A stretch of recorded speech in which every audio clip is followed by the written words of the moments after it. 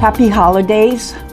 I'm Mary Margaret Revell Goodwin. I'm the chair of the War of 1812 Commemoration Committee. We decided for the final year to honor both all of the men who served in the War of 1812 from this county, but also to honor our flag, to join the Quilts of Valor project, which is a national project that makes quilts for veterans and wounded warriors from all wars, but especially from Iraq and Afghanistan. So I'm asking for the help of everyone in this county. Let me first tell you a little bit about these Slippery Hill quilts.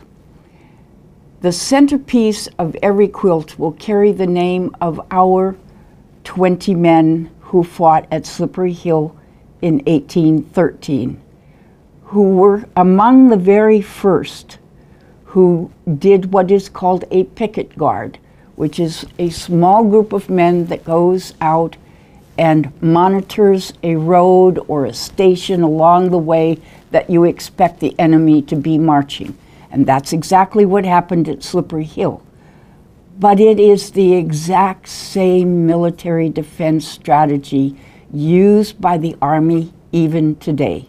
In Afghanistan, it was used in Iraq. There are right now 24 million, 24 million veterans from just Iraq and Afghanistan alone. That's a huge number. Quilts of Valor has done a magnificent job. They've made and distributed 64,000 quilts over the last 10 years. That's nowhere near enough.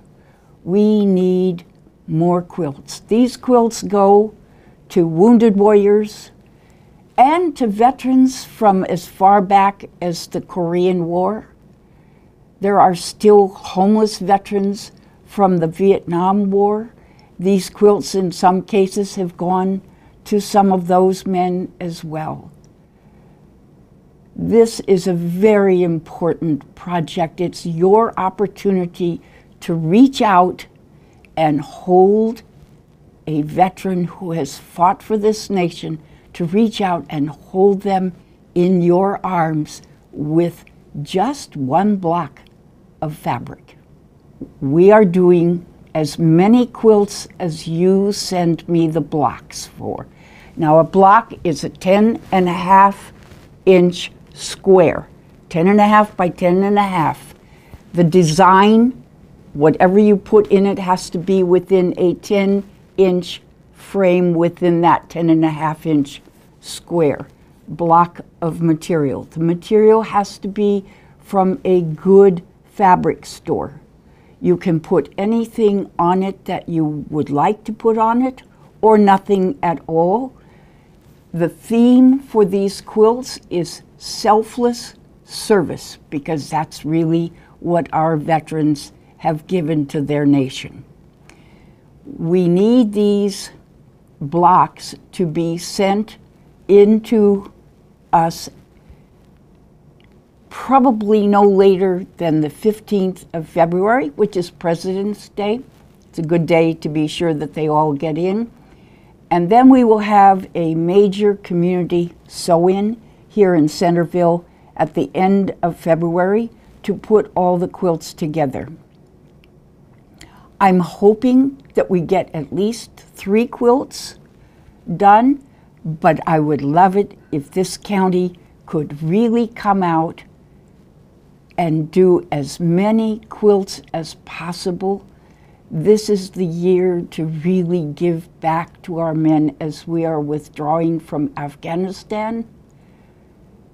I would just love it so much if every one of you out there, every adult, and perhaps involve your children as well, and make one single block of material, 10 and a half inch square, and send it. The forms to be filled out with your name and address and phone number and the message and why you put that message on your block of material.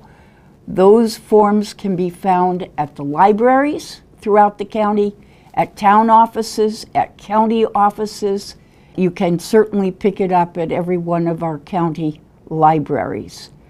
I wish you a great and wonderful holiday, and God bless America.